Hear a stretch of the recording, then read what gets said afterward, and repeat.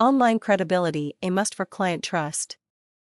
Clients, be it a potential or an existing, should be provided with utmost service and care in order for the company client to grow into more meaningful and revenue-full relationship. Thus, the company should be able to provide all the needs and offer only the best service. Let us accept the fact that a client, especially online clients, will need time and a noticeable effort from the company before they can trust. It is true that building online confidence and allow others to trust a company would mean a big investment, especially those companies that provide background check services. It would take years to build such conviction, and along the way, humps and bumps are unavoidable.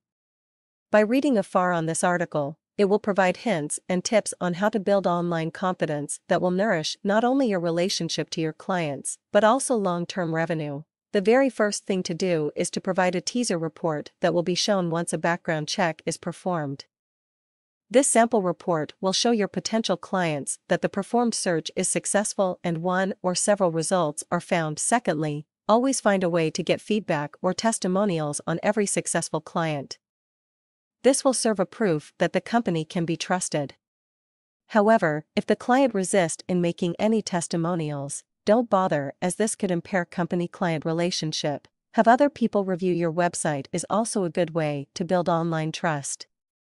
However, make sure that the reviews written for your company would turn out good publicity. Lastly, make sure that you invest in always keeping your site updated and your services be reorganized. This will give a good impression for the clients that changes are being made in order to provide better services. Giving out some of the collected revenue for the betterment of the company will never be put into waste as more income will soon arrive. These tips on how to get an approval from a client in running a background screening on them will work on other company and may not work for you. Taking this will be at your own risk and the author will not be liable for the outcome.